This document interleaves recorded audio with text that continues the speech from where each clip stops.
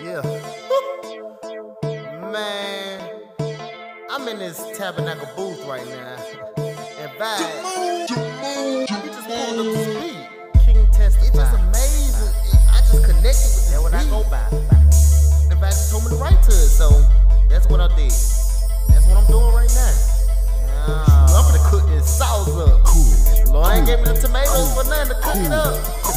I gotta cut it up in that pot though. Get it nice and hot. But the stove turn hot. Stove game. Never forget to mention sauce game. Just stepped up in the game like I'm Bigfoot. Man, I feel like Martha Stewart and I'm cookbook. What? So take a good look. Take a good look. Chef boy testify in the kitchen cause I cook. Yeah. The beat just dropped. Watch it go bam. And I told them haters get the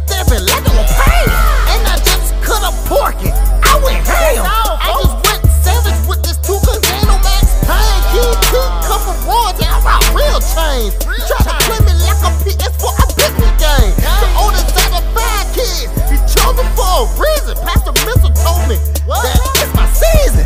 Rest in peace to little Reggie. I took a time out to drink a Powerade just to get in the game. Larry Rocket said he kept his grass cut just to keep them snakes out. I guess I keep my grass cut to keep them snakes out. Back at the time when I grew up cooking a soup when I'm telling the truth, they calling me a bad guy cause I ripped the Christ.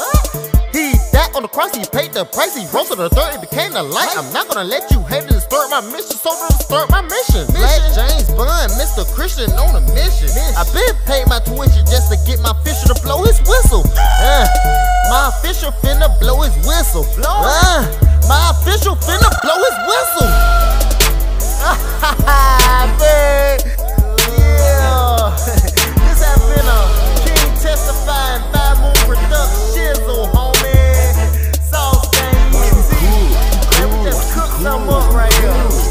Working and Rich, man. You think the just want